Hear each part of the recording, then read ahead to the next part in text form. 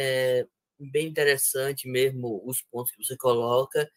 É, o que eu vou falar não é nenhuma novidade para você, você viu, é, eu mandei para você no privado mesmo algumas perguntas para ter noção do que eu vou falar. É, e a minha pergunta são, é dividida em três partes. É, prim, são três questões que eu quero colocar. A primeira é, eu queria. Não é uma coisa extraordinária, é até meio banal mesmo, mas é, qual é a importância de se entender, de, de fato, a, a recepção de Nietzsche, não só, é, principalmente aqui no Brasil mesmo, não só no mundo em geral, mas principalmente aqui no Brasil. E, e essa é a minha primeira. Eu sei que hoje em dia existe todos um estudo, pesquisadores que aprofundam esse assunto, principalmente aqui no Brasil.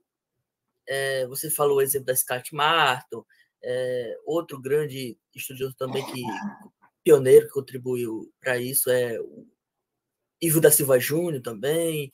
É, e hoje tem existe todo, eu não me lembro, parece que é um grupo de estudos, Centro de Estudos da é, Centro de Estudos Nietzsche, recepção Nietzsche no Brasil. É, se eu não me engano, é, é isso. É, mas eu queria que você trouxesse alguma coisa sobre isso. A segunda foi de uma live que eu assisti sua, uma live antiga, com o Tiago Tiago Pantuzzi, Pantuzzi, é isso? Da, Uni, da Unifesp. É, é, se eu não me engano, é, e ele tocou num assunto que é sobre a questão do anarquismo no Brasil. É, em momentos, eu sei que você falou, citou questões da influências ideológicas, você citou os exemplos aí ao longo da live, e eu queria saber a questão onde, do anarquismo na recepção brasileira e a sua influência com Nietzsche. Eu soube que existe estudiosos de Nietzsche que interpreta que pensadores como Nietzsche têm uma contribuição para a ideologia eh, anarquista em geral, mas eu não sei muito, não entendi muito bem essa relação com Nietzsche e também essa recepção no Brasil. E a terceira última questão, é, ela na verdade eu quero pegar esses movimentos pós 45, pós 1945. É, eu sei que pode estar fugindo da, da sua perspectiva, mas é, para mim tem alguma relação, porque vamos ter, é, após 1945, vamos ter é, os movimentos artísticos, culturais, que vão herdar esse, todo esse espírito da, do movimento do movimento modernista. um exemplo disso é o tropicalismo, grandes figuras como Gilberto Gil, Caetano Veloso e muitos outros, mas é, e eles têm de fato essa forte influência dos movimentos é, modernistas, de modo geral. E nessa época, entre os anos entre os anos 60 e 70, aqui no Brasil mais especificamente, no meu acadêmico, a gente vai ter a, a popularização do Nietzsche, Nietzsche, principalmente esse Nietzsche é o quebrador dos ídolos, o rebelde sem causa da, da aristocracia, não sei o quê. É, essa interpretação é o que vai popularizar a imagem de Nietzsche. Muitos vão comprar a imagem de Nietzsche com essa interpretação. Então, que, é, e eu me lembro que eu, que eu assisti uma conferência, tem no YouTube, que é da Scott Martin, de um auditório lá da USP, e ela tocou num assunto sobre essa dessa recepção no meu acadêmico dessa época, entre os décadas de 60 e 70. Vamos, é, segundo ela, na, nos anos 70, vamos ter pela primeira vez no Brasil uma tradução é, de qualidade, que é as famosas obras incompletas do Friedrich Nietzsche é, se não me engano, quem organizou elas foi o. É, perdão, meu francês é horrível. É, Gerard Lembrun e tem o Rubens Rodrigues.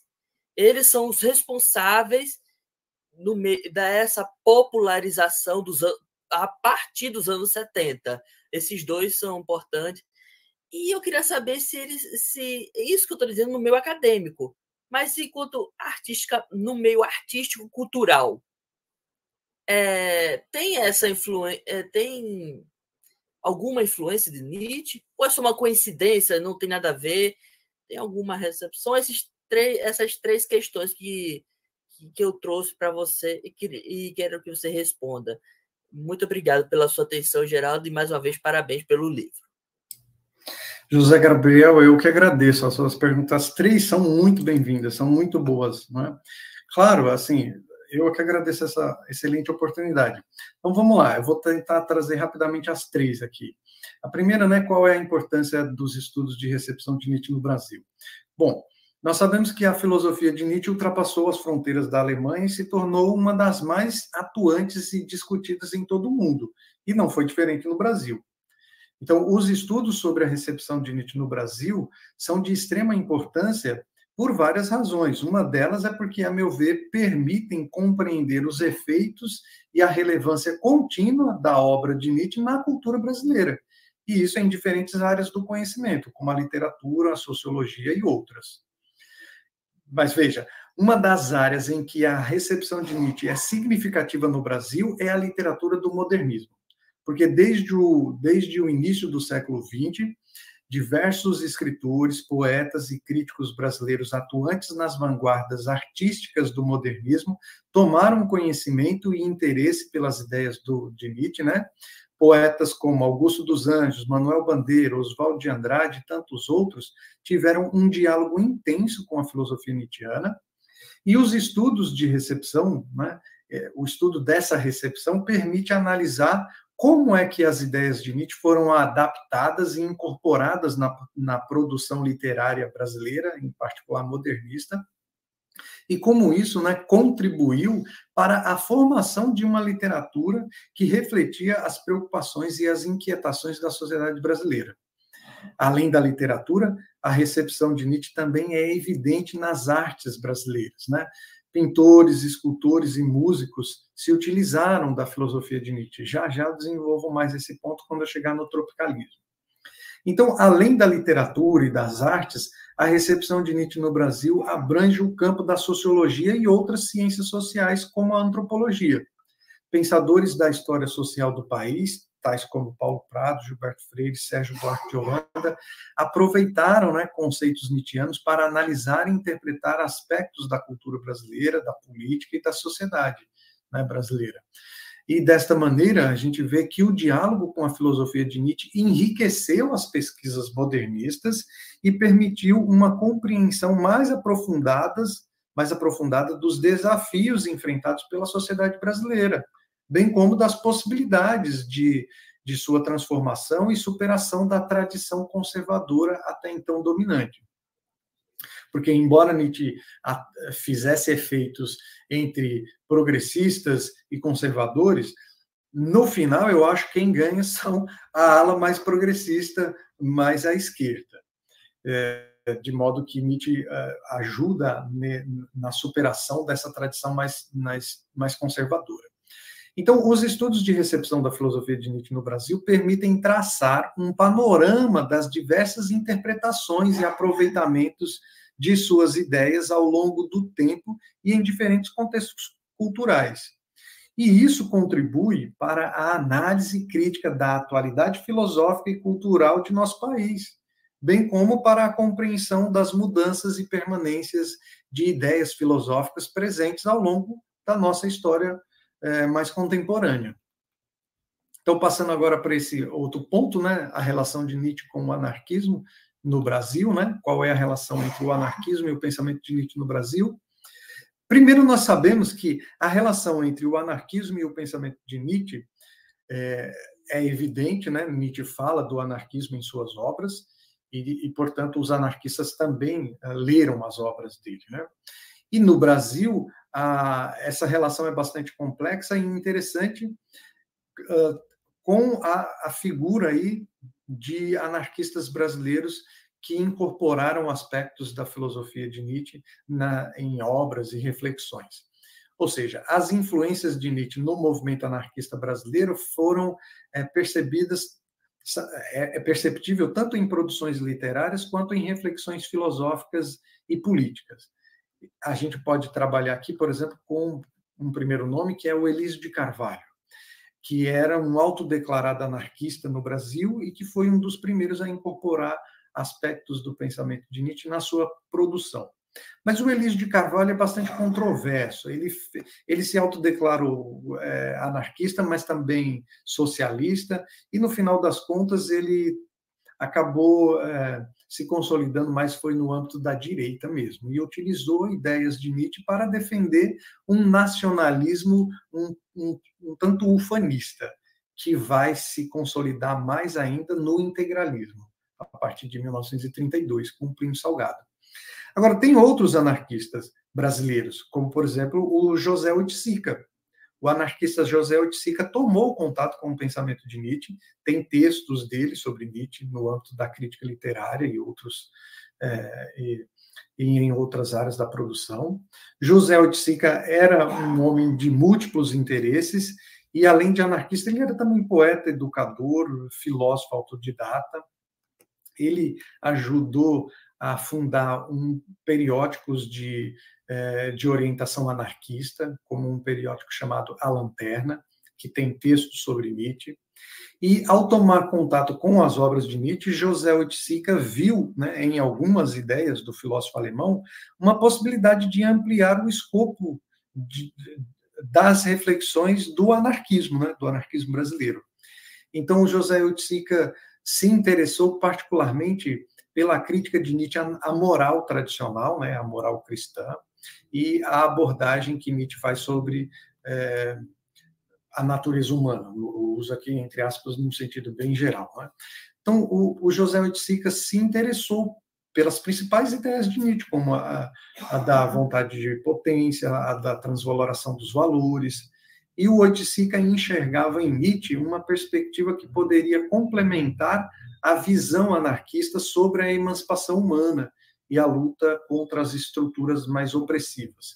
Então, assim, não existe nenhum tipo de pesquisa sobre a, sobre a recepção de Nietzsche no anarquismo brasileiro, mas vale muito a pena fazer uma pesquisa aí, porque tem vários autores que, que de fato se apropriaram de Nietzsche, como eu disse, o, o José Oiticic é um deles, o Elísio de Carvalho é outro, mas tem mais. Né? A gente pode pensar também na Maria Lacerda de Moura, que era uma feminista, mas também anarquista. Ela se alinhou com o anarquismo que atuava principalmente em São Paulo. Então, era uma escritora né, é, e, e, defensora da, da, emancipação feminina, da causa feminina, leitora de Nietzsche, é, em, em, diversas obras dela, ela menciona Nietzsche, é, traz as suas ideias, se utiliza das ideias de Nietzsche para pensar a, é, a emancipação feminina. Então, Maria Lacerda de Moura, de fato, utilizou algumas ideias de Nietzsche para embasar a sua defesa da liberdade de pensamento e a importância de uma ética baseada numa, numa autenticidade, né? num, certo autoaperfeiçoamento tem diversas obras onde ela se utiliza é, da, é, dos conceitos das ideias de Nietzsche. Me lembro de uma agora de cabeça que é, é, Civilização, Tronco de Escravos, acho que é esse o título, mas tem outras, várias outras, né? Então é importante ressaltar que, embora alguns anarquistas brasileiros tenham se apropriado de aspectos do pensamento de Nietzsche, essa relação nem sempre foi unânime ou sem críticas, né? ou seja, autores do anarquismo brasileiro, é, que, é, que era bastante diversificado, é, tentam fazer a sua própria leitura de Nietzsche e também fazem é, tentam fazer suas interpretações críticas né, de Nietzsche, como é o caso do, do José Oiticica. Eu chamo ainda a atenção para o seguinte: a relação entre o pensamento de Nietzsche e o movimento anarquista no Brasil também foi analisada né, pela professora é, pela filósofa Scarlett Martin. Na verdade, foi Scarlett quem, pela primeira vez, no livro, no, num texto breve chamado Nietzsche, a cena brasileira, publicado em 2000, ela foi, ela é a primeira no Brasil a abrir essa linha de pesquisa, como eu já disse, e é lá nesse nesse texto que Scarlett fala que foi o movimento anarquista espanhol que, de certa maneira, trouxe o pensamento, né, as obras de Nietzsche para o Brasil. É a partir daí que, há, que começa a haver um interesse pela, pelas ideias de Nietzsche. Então, é, esse texto é interessante e eu, eu diria que essa é uma pesquisa necessária, muito bem-vinda. Alguém estudar a recepção de Nietzsche no movimento anarquista brasileiro. É, tem muito o que pesquisar. Esses três autores são só os que me ocorrem agora: o José Oiticica, o Elísio de Carvalho e a Maria Lacerda de Moura, mas certamente tem outros. Certamente tem outros. E agora, indo para a última pergunta, né? Se existe alguma relação entre o movimento artístico-cultural chamado tropicalismo e a popularização do pensamento de Nietzsche no Brasil, eu, eu, diria que sim, com certeza.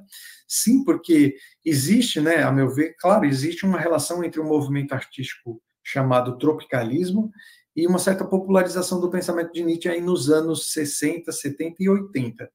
Vale lembrar que Nietzsche já era uma moda lá no início dos anos 20, no, no início do século 20. É, é, o José Veríssimo, por exemplo, em 1903, fala que Nietzsche é uma moda. Né? Então, essa moda ela vai se sofre bastante modificações ao longo do século. É, no período entre guerras, por exemplo, ocorre aquele debate que a gente estava conversando agora sobre a recuperação de Nietzsche, do, das apropriações, e a partir dos anos 60 e 70, Nietzsche passa a fazer parte da cena cultural artística através do tropicalismo, com certeza, porque todo mundo sabe, né? O tropicalismo foi um movimento cultural que emergiu aí no, no, na década de 60 no Brasil e foi liderado por artistas como Caetano Veloso, Gilberto Gil e o Jorge Maltner, entre outros. E esse movimento buscava romper, né, com algumas convenções estéticas e culturais estabelecidas, e Nietzsche era bem-vindo entre modernistas, Nietzsche era bem-vindo justamente para romper com certas convenções, no tropicalismo também. Então, os cantores do tropicalismo, como Caetano Veloso, Gilberto Gil, Jorge Maltinet, compuseram canções em que incorporam ideias de Nietzsche e aspectos da vida de Nietzsche. Eu chamo a atenção, por exemplo, para a canção, para uma canção do Caetano Veloso chamada Petergast, como todo mundo sabe, Petergast é um apelido, é um apelido que Nietzsche deu a, é, a Reichen é, é, Koselitz, né? É, Reichen Koselitz, que era um amigo de Nietzsche, né? E que Nietzsche chamava ele de Petergast. E nessa canção do Caetano Veloso chamada Petergast, é, Nietzsche é descrito lá como um, um profeta sem morada como um nômade, né? referindo-se então à, à, vida de Nietzsche como nômade. É, mas essa não é a única música né, da MPB onde Nietzsche aparece claramente. A música Super-Homem, é esse o título mesmo, Super-Homem, do Gilberto Gil, parece remeter diretamente à ideia do Übermensch, né, de Nietzsche. Essa canção do Gilberto Gil alude à busca pela superação do homem comum, transcendendo os limites e condições sociais impostas, né? Algo que é fundamental aí na filosofia de Nietzsche. A música, tem uma outra música também agora, a música do George Maltner, chamada Zona Fantasma, se refere explicitamente a Nietzsche, mencionando o Zaratustra, né? personagem profética criada por Nietzsche. E fala, por exemplo, da ideia de. Uh, e traz a ideia da ponte né, para o super-homem. A canção traz essa, esse elemento aí. Então, na canção, o eu lírico afirma não querer o super-homem, mas sim a humanidade mergulhada na condição humana, mostrando uma interpretação crítica e original dessa ideia de Nietzsche. Né? Essas e outras canções do tropicalismo contribuíram, eu acho, para a popularização do pensamento de Nietzsche na cena cultural desse período aí, 60, 70 e 80. Então, o, tropicalismo foi, né, como a gente sabe, um movimento inovador e provocador que trouxe questões filosóficas para a cena cultural brasileira através de Nietzsche. Né? Então, isso é muito bacana e muito surpreendente. Uma pesquisa aqui, nesse âmbito, seria muito bem-vinda também, né? Porque com, com essas referências à obra de Nietzsche, esses tropicalistas, né, por meio dessas canções que eles fizeram, eles de alguma forma provocaram o interesse e a curiosidade sobre a filosofia de Nietzsche, né, e sobre ideias de Nietzsche, né, contribuindo, portanto, para disseminar as ideias do filósofo alemão é, na cultura brasileira. E quem sabe chegando também até o âmbito acadêmico, né? porque eles transitavam muito bem, eram muito bem recebidos no âmbito acadêmico. Então, para trazer agora o último ponto da pergunta, né? Penso que o aproveitamento do pensamento de Nietzsche pelos artistas do tropicalismo demonstra, de fato, a vitalidade e a capacidade de diálogo entre diferentes campos do conhecimento e da extensão né, e da expressão artística que eles produziam, né, que enriquecia o cenário cultural e intelectual brasileiro, incentivando o público a buscar uma compreensão mais aprofundada de ideias filosóficas, no caso de ideias de Nietzsche, né? Agora aqui eu passo então para finalizar e para trazer a última responder a última pergunta, né, a última parte da pergunta, que eu penso isso, né? O movimento tropicalista com certeza, contribuiu para a popularização do pensamento de Nietzsche no âmbito cultural. Talvez também no âmbito acadêmico, mas com certeza no âmbito cultural. Porque eh, penso que Nietzsche passa a fazer parte da cena acadêmica no Brasil a partir dos anos 70, determinado em grande medida pelos estudos acadêmicos realizados na França sobre ele, né? Nesse período, no período aí dos anos 60, 70 e 80, a França se destacou como um importante centro de produção filosófica e muitos estudiosos franceses se dedicaram à obra de Nietzsche, né? como a gente sabe. E penso que essa determinação, é, é, esses estudos franceses é que, em larga medida, determinaram a, a maneira como Nietzsche passou a ser estudado no âmbito acadêmico no Brasil a partir dos anos 70. Então, para finalizar, né, a recepção da filosofia alemã na França, né, então tem, tem alguns fatores aqui que eu acho, né, que é, alguns fatores que determinaram a maneira como Nietzsche passou a ser estudado na academia brasileira. E esses fatores estão ligados à recepção de Nietzsche na França porque desde o final do século XIX a França demonstrou amplo interesse e apreço pela filosofia alemã, e incluindo aí Nietzsche. Então, filósofos como Hegel e Marx tiveram os seus trabalhos reconhecidos na França antes de Nietzsche. Mas é a partir desse interesse, né, por Hegel, Marx e outros, que se criou uma certa atmosfera que propiciou o estudo e a divulgação e a consolidação da filosofia de Nietzsche. Outro aspecto né, que, que, determina muito isso é as traduções e publicações de obras de Nietzsche em francês. O Brasil começou a ler Nietzsche, eu diria, em francês, né? porque desde as traduções que se fazia na França lá no final do século XIX e início do XX, eram as, as obras que circulavam no Brasil até os anos 30, eram praticamente todas traduzidas em francês o que se lia no Brasil era o Nietzsche francês. Então isso acontece no início dos anos 20 e uma certa e há uma certa continuidade aí depois, né? principalmente nos anos 60 e 70. É também um Nietzsche é, filtrado pela França que se tem na academia brasileira. Então outro outro fator, né, que determinava muito a maneira como Nietzsche era recebido na academia a partir dos anos 70, é o intercâmbio cultural acadêmico entre Brasil e França. Porque nessa época, né, anos 60, 70, houve um intenso intercâmbio cultural e acadêmico entre França e Brasil, e é aí que entra em cena estudiosos brasileiros é, fundamentais atualmente, né? Eu me refiro a Scarlett Martin, porque ela também é, irá estudar na França, acho que ela fez um mestrado na França, e, enfim, ela passa a estudar Nietzsche dentro dessa tradição francesa. Né? E é ela quem irá situar a filosofia de Nietzsche como objeto de estudo acadêmico a partir dos anos 80, dentro dessa tradição francesa. Né? Então, as ideias, outro fator, né, as ideias em circulação, né, as condições filosóficas e intelectuais é, as ideias em geral que circulavam, as ideias principalmente filosóficas que circulavam no Brasil, via muitas delas via França, né? E as ideias de Nietzsche vêm a partir disso. Então, portanto, os estudos acadêmicos sobre Nietzsche realizados na França foram um dos principais fatores que contribuíram para a popularização e disseminação do pensamento é, de Nietzsche no meio acadêmico brasileiro a partir dos anos 60 e 70, mas o mesmo também já ocorria lá no final do 19 e início do 20. Então, essa troca de conhecimentos e perspectivas entre os dois países, França e Brasil, sem dúvida enriqueceu a produção intelectual brasileira e proporcionou é, uma compreensão mais aprofundada e um interesse mais aprofundado pela filosofia de Nietzsche. O exemplo melhor disso, né, desse processo, como eu disse, é a professora Scarlett Martin. Então... Será que eu poderia. Eu só queria te pedir uma coisa.